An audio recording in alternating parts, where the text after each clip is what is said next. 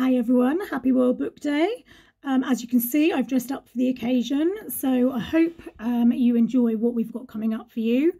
Um, you will have seen The Masked Singer. Well, now St Hilary School are doing The Masked Reader. Who's behind the mask? Watch the videos, jot down who you think it is, and we'll see the results next week.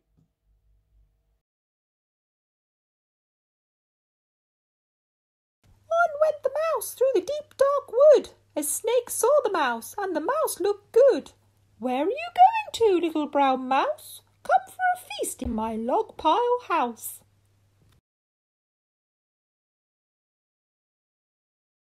Here is a bear who has nowhere to go, so he's plodding along through the cold winter snow. Behind him is prints Trace, a long weary line, but ahead the snow's waiting, unbroken and fine. A mouse took a stroll through the deep dark wood. A fox saw the mouse, and the mouse looked good.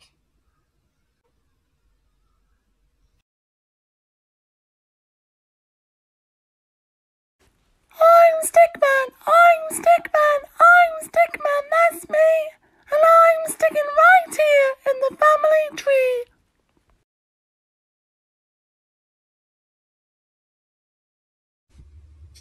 Russell the sheep lived in Frog's Bottom Field.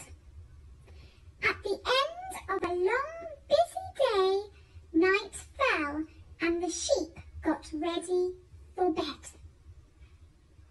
Soon all was quiet except for Russell!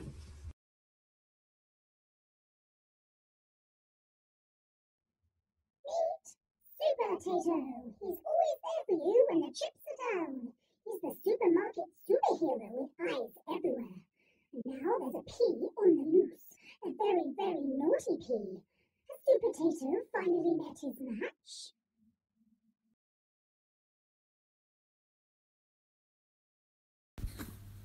This is the bear who started to tell how he flew through the air and how he fell and how he floated and how he was saved and how he was brave.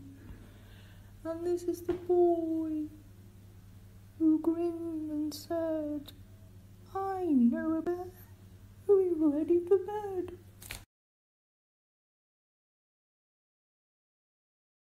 Is there room on the broom for a frog like me?